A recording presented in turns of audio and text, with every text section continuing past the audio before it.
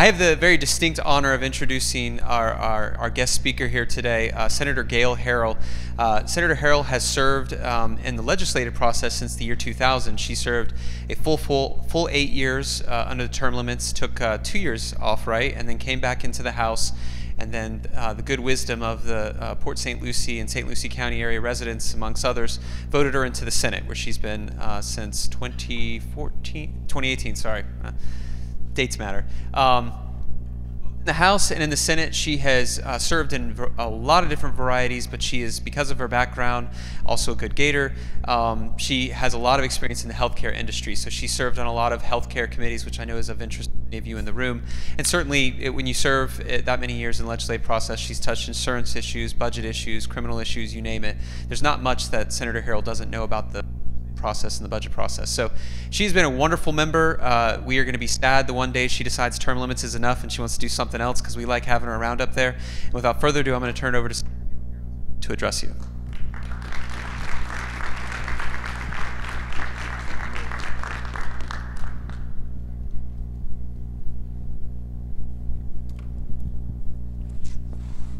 First of all, I want to say thank you so much to Chris and to, uh, and to uh, Fit for inviting me here today. It's always a delight to come and meet with, especially people in the nonprofit arena. I have uh, many, many years involved in many nonprofits on the Treasure Coast, and I'm so delighted that we have two of our wonderful organizations, MacTown and ARC from the Treasure Coast. Thank you for for being here. Wonderful to see you all, and it's always good to come and see hometown folks when you come and, and uh, do a legislative update. But it, uh, I want to just first commend you for what you are doing. I think being in the social service arena, especially, is extremely uh, difficult and many, many challenges. And I know as as a having been involved with many nonprofits, I'm a founding board member of Hibiscus Children's Center, a uh, shelter for abused and neglected children on the Treasure Coast. Also been involved with helping people succeed early on years when it was uh, Tri-County Tech. So I know the challenges as nonprofits that you face and coming together as a group like this to really bring your interests together and pool your resources to be able to buy insurance and work together is really a key way of keeping costs low. So I, I want to commend you for what you're doing and just encourage you to look for other ways to also share your information among each other and to uh, hopefully at some point you might even get into doing uh, health insurance. But I know that's a key driver, a key expense that you all do have. So by sharing your, by coming together, by being uh, self-insuring essentially or, or reinsure, getting reinsurance and pulling your resources really makes it very cost affordable for you and I, am delighted that you're doing that. It's a it's a good way for nonprofits, especially those we in government depend on, to be able to really provide the services that government doesn't do as well as you do. And I'm a firm believer in really the privatization of these kinds of essential services, whether it's community based care organizations in the um, child welfare arena, or whether it's managing entities in the mental health and substance abuse arena. And in contracting with those providers out there, we let communities make decisions as to what is the best thing in the interest of their community and the best way to provide services to the people of that community. So uh, I know you have a tough job, and I commend you for what you do. And I think that uh, this type of organization coming together really is a key way for you to be able to afford to do even more service out in your communities. So give yourselves a round of applause for everything you do. As, as a legislator, I'm a new freshman legislator in the Florida Senate. So I, I have found the bathrooms. Key number one, find the bathrooms. And I, I am learning my way around the Senate. And I'm now one of 40 instead of one of 120. And that really changes the dynamics and how you get things done. And I feel that I have been totally empowered to really move uh, policy forward, especially in the healthcare side of the of government. Uh, while in the House, I was very involved in child welfare issues. I was children chairman of Children, Families, and Seniors for over for six years. Now I'm chairman of the Health Policy Committee on the on the Senate side, and I do bring uh, some long-term experiences at 30 years involved in healthcare, uh, running a large medical facility for many years uh, on the Treasure Coast. So health policy is kind of what I do. So if my my legislative update kind of swings to the healthcare Rita, please, that's that's my area of expertise as well as the the child welfare and mental health area. But it was a very exciting year. As a freshman, I was very excited to be in the Florida Senate, and it was a very successful year. We really, I think, moved the ball down very successfully. We had a tremendous budget this year $91 billion. dollars. Those are your dollars that we are spending. And we made major advances both in education, in really the largest education budget we have ever had. We really put the money into the classroom, and that is to me the most important thing. And uh, environmentally, we did probably the biggest budget we've ever had environmentally. And of course, in my arena in on the Treasure Coast, this is a key issue for us. So I felt I was so delighted we put over 629 649 million million dollars into Everglades restoration, which for us is absolutely key. But we also did across the state. We're really looking at water policy issues and really making sure that we have, uh, that we're putting the resources into uh, our environment because that is truly our future for our children. And when it comes to insurance, I know this is your field. This is why you're here because you're pooling your resources together to be involved in insurance and to keep your costs as low as possible. One of the key bills that we did this year deals with assignments of assignment of benefits. And that, of course, live insurance for property has been huge.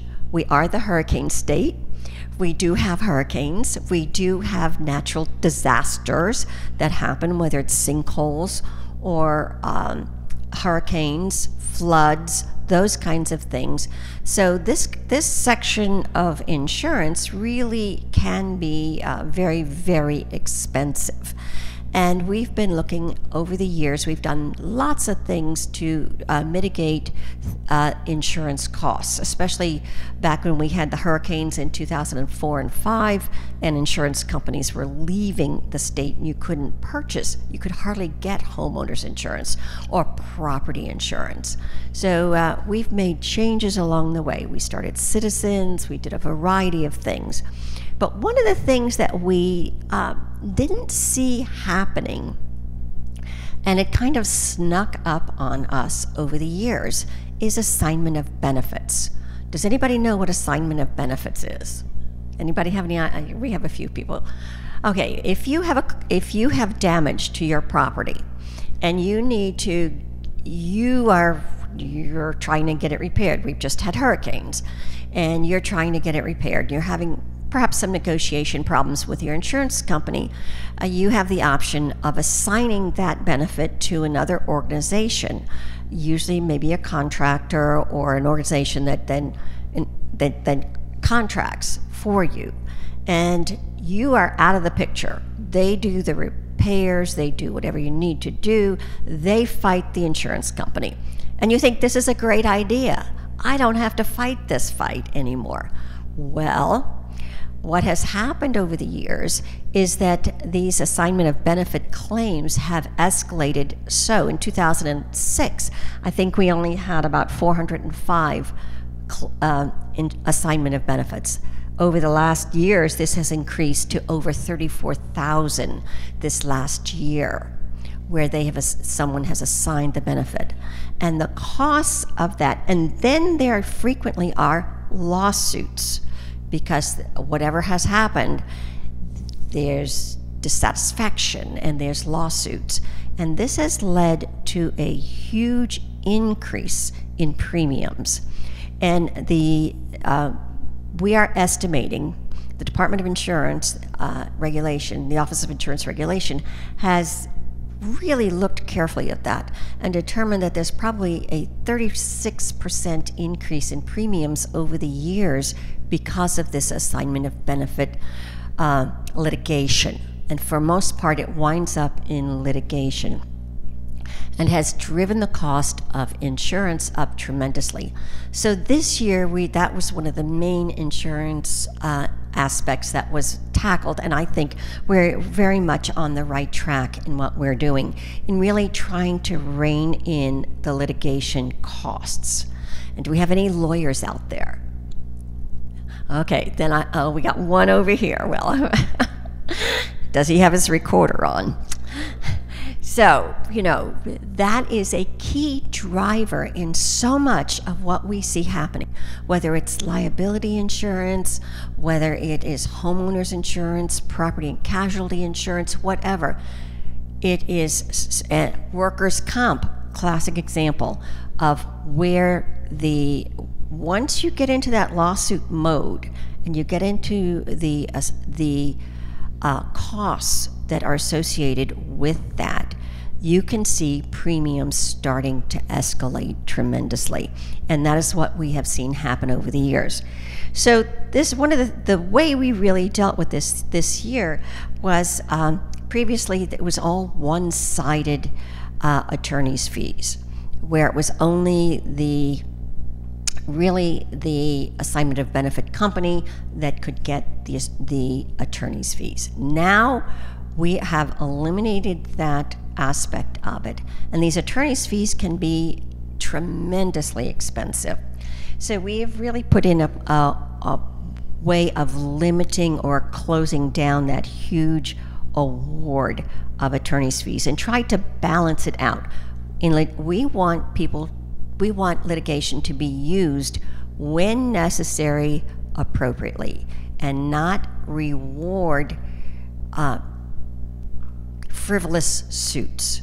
And that is the goal of this legislation, not to award frivolous suits. So I'm going to kind of look at the notes here to give you this. Okay, if the, when the settlement takes place, and we want these settlements to happen, that's the key. First of all, not wind up in court, but if you do wind up in court over this, that it settles as, as fairly as possible. And when the insurance company has made a, an offer to settle, and that offer was refused by the assignment of benefit contractor, then there's a, there's a process by which the attorney's fees will be awarded. So you don't wind up with excessive attorney's fees. And if the settlement differs from, if the judgment differs from what the offer was by the insurance company, uh, less than less than 25% of the disputed amount, the insurer is entitled to the award for reasonable attorney's fees. So the other side has to pay his attorney's fees.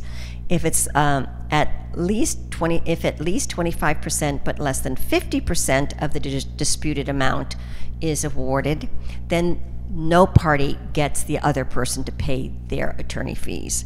Or if it's if at least 50% of the disputed amount, the assignee is entitled to the award of reasonable attorney's fees. So we're trying to balance that out.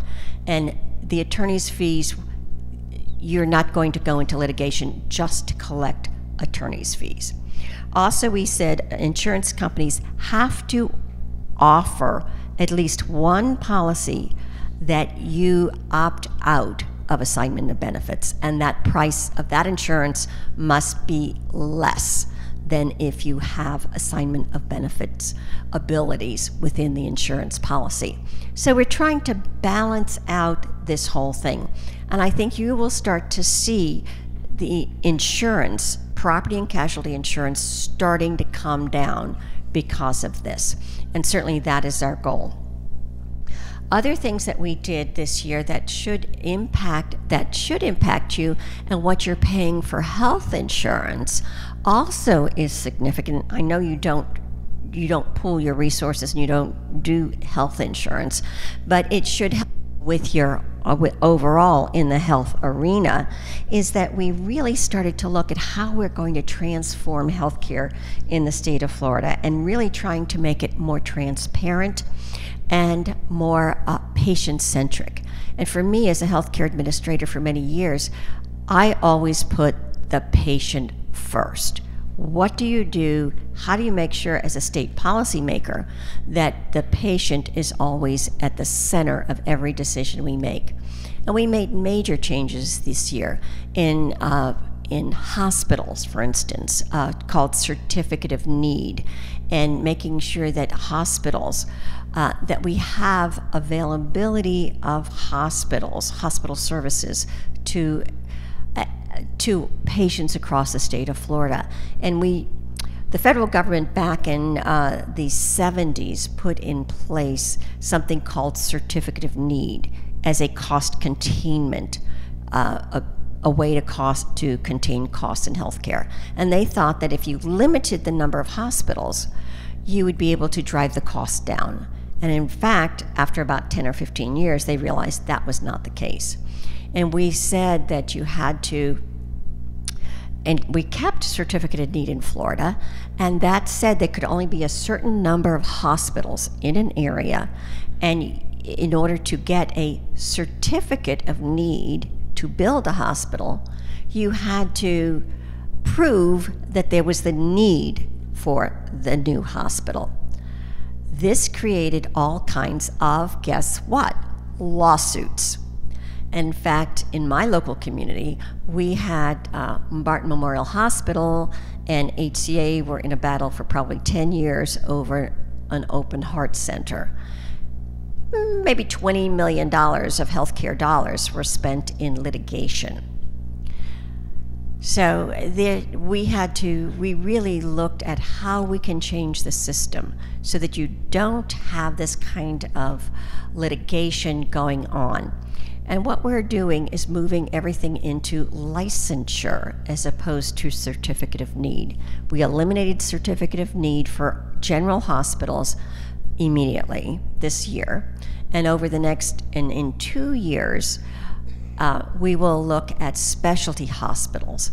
And those will be such as psychiatric hospitals, children's hospitals, uh, maternal infant care hospitals.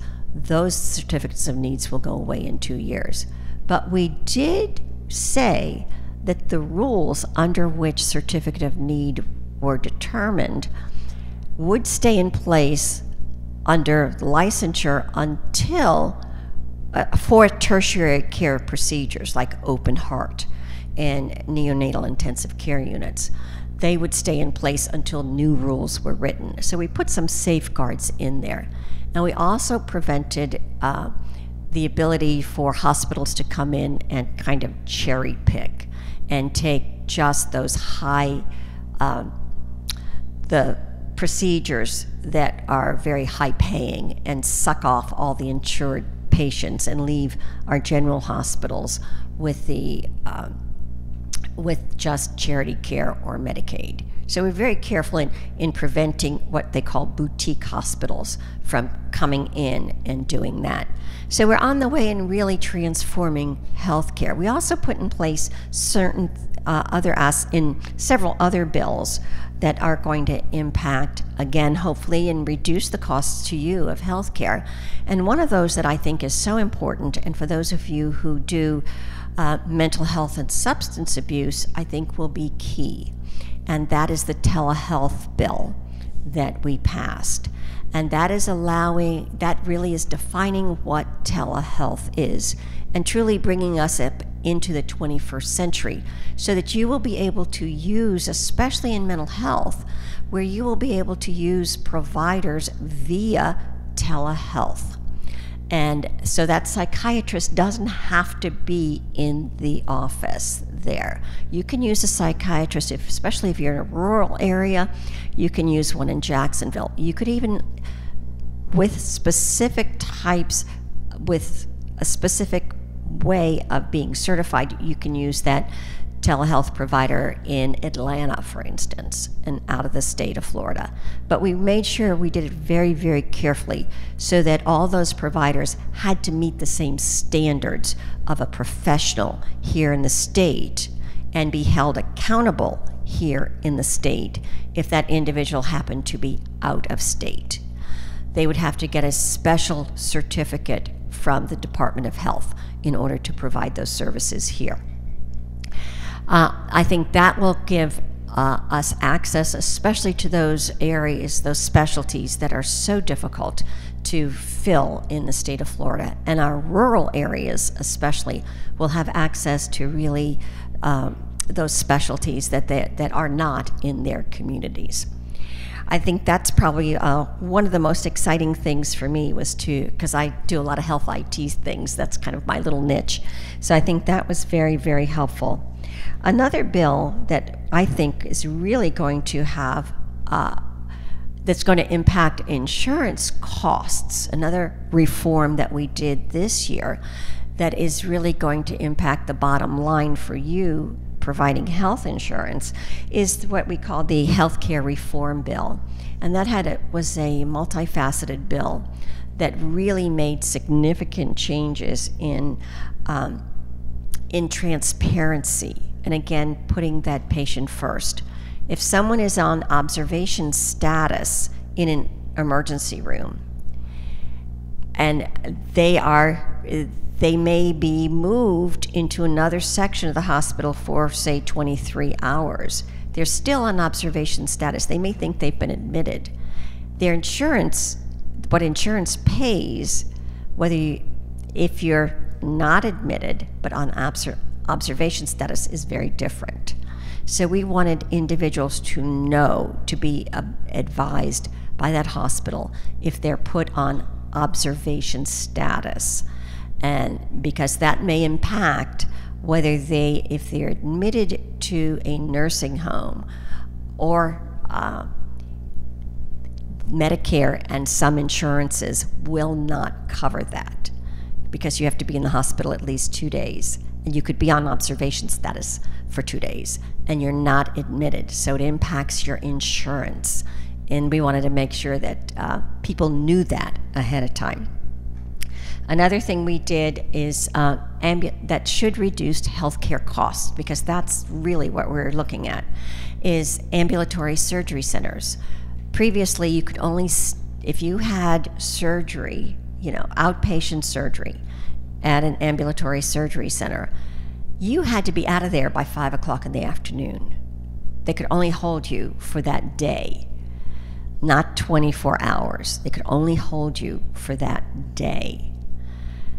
And for many people, you know, you may not have your surgery till one o'clock in the afternoon. And if you have an anesthesia problem, you may not be ready to go home by five o'clock that afternoon. So we wanted to make sure that they could hold you for a full 24 hours. And that way, it gives you time to recover. Previously, you would have been transported to a hospital if you were not ready to, at five o'clock to go home you would be admitted to the hospital. That's very expensive, drives up healthcare costs. So we said you could stay 24 hours, so you might not go home till 10 o'clock at night. Or, you know, if it, you had your surgery at 7 o'clock in the morning, you could stay till 7 o'clock the next morning. So it gave you time to recuperate. We will see less hospital admissions, I believe, because of that. And another, again, impacting insurance would be we said um, many insurance companies do what's called formularies, and and they use a term called step therapy, where you have to fail first on a medication before they'll let you try the next medication.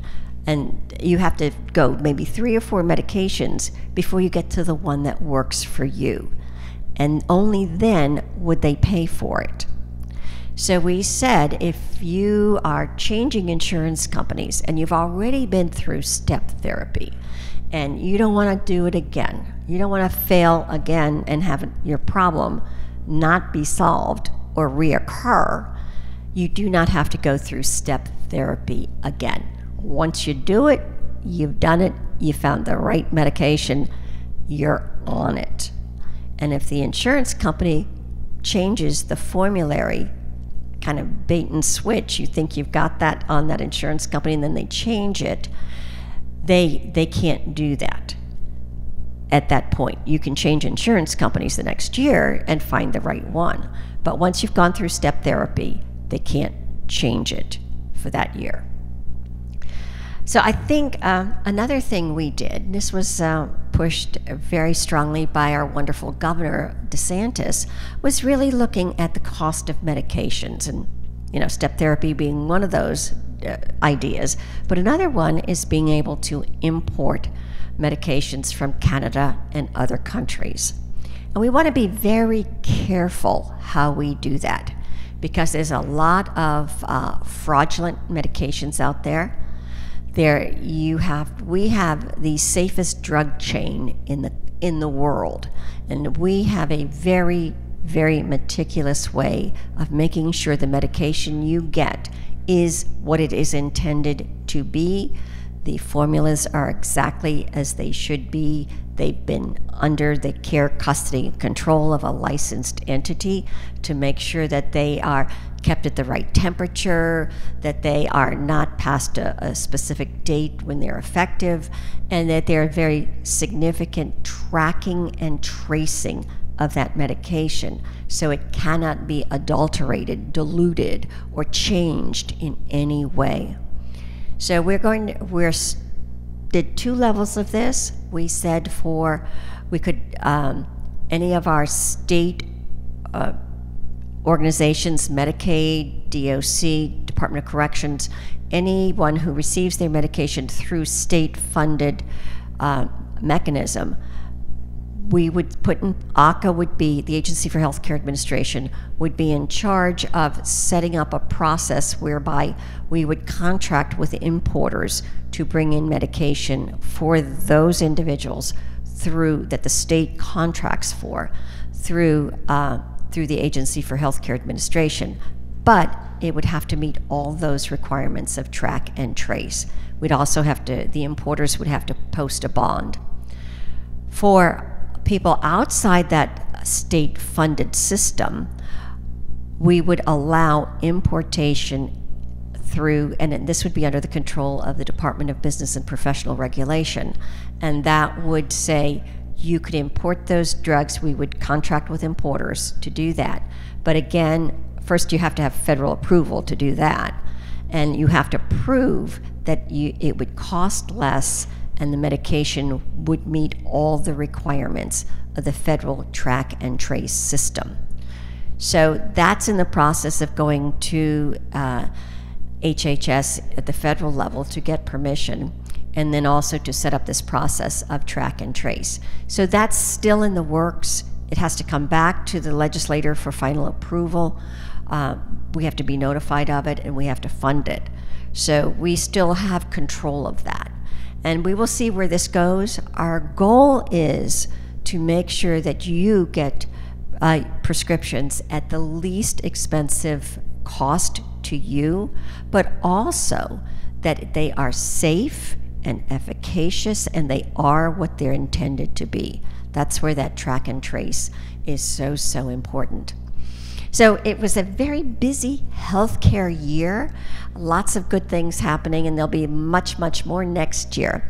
And I'm. Uh, I'm open for questions. I don't know how much time I, I will talk forever if you give me the microphone. And I'm happy to answer any questions or go into more detail on uh, other things that I haven't touched on. Yes, sir.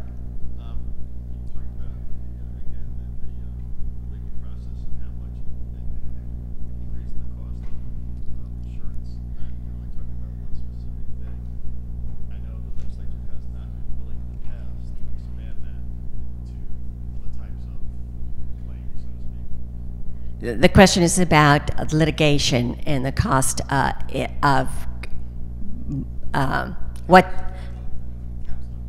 caps you're looking for caps on.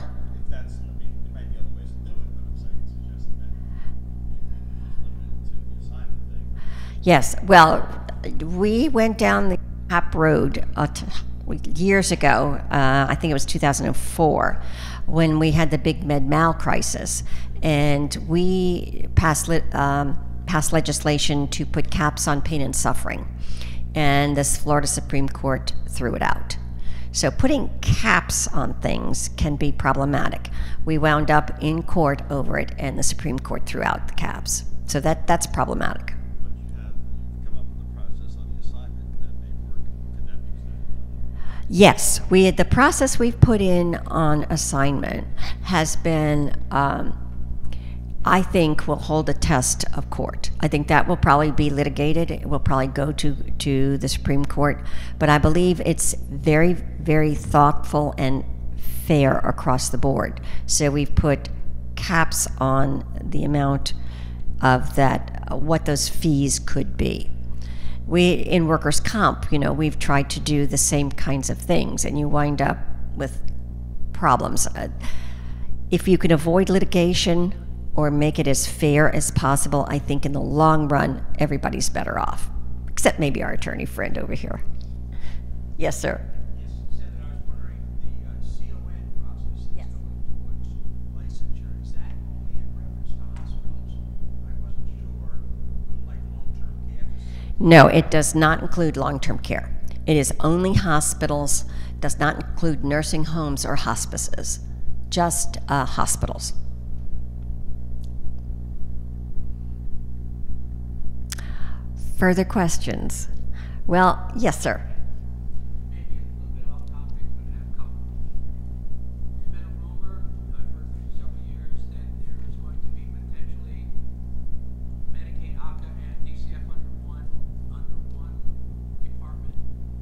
The old HRS model. He, he's heard rumored that they're going to put everything back together. You know, I've lived in Florida for 50, 60 some years. I won't tell you how long. Um, but it is, I remember the old HRS days, you know, Health and Rehabilitative Services. How many of you go back to HRS? Okay, if you remember HRS.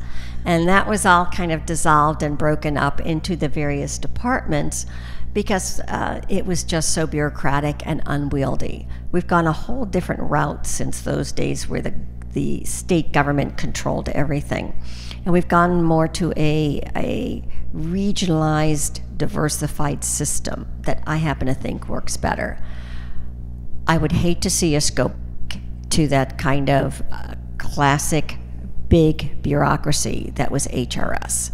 Uh, I think we're much better off keeping it departmentalized, although this is where I have been very involved in really looking at this from the IT perspective. And one of the things we did this year, which has moved us in the right direction, is that we have siloed thinking when it comes to uh, sharing data and spending money on data, spending money on uh, information technology, on IT.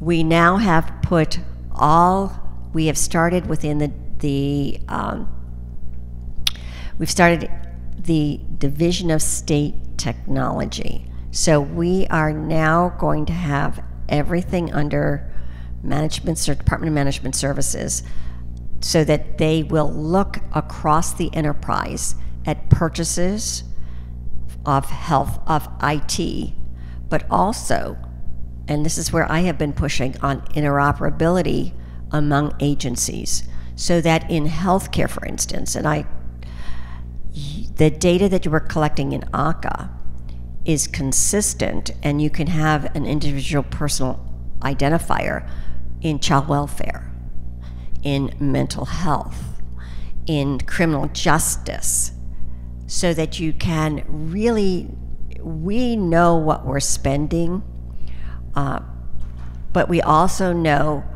we also can use information across agencies. I'll give you an example the Department of Health.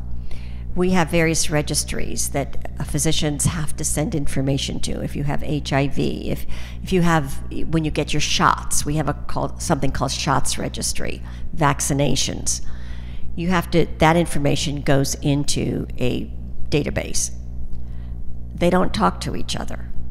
So we don't know. We probably have a hundred different registries. They don't even use the same format for first name, last name, whatever. So they they don't interoperate, and they don't talk to each other. So that's a big mission I happen to be on is data governance, so that we can have a consistency across the enterprise and be able to share data to really look at outcomes and make appropriate decisions as policymakers, but also for the benefit of the person, so that we know what services they're getting and that the, it's the best service for them. So uh, I hope we don't go down that road of HRS. I, uh, I would much rather have a, a diversified system, meeting the needs of people in their communities. Yes, sir.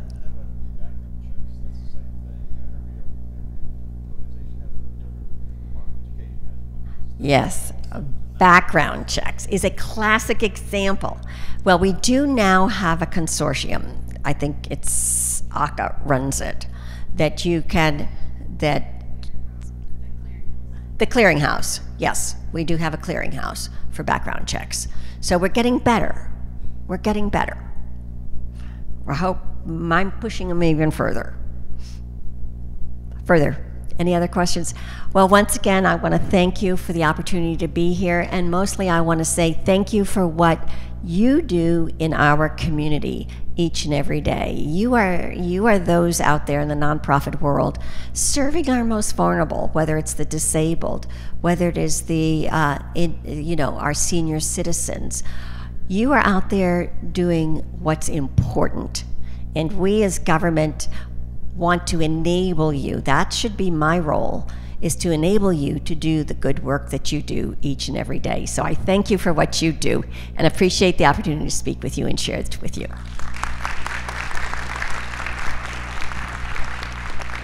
Thank you, Senator Harrell and Karen, who's with us today as well. They, they, as you can tell, she knows more about this process than Dawson and I could ever learn, but we'll try.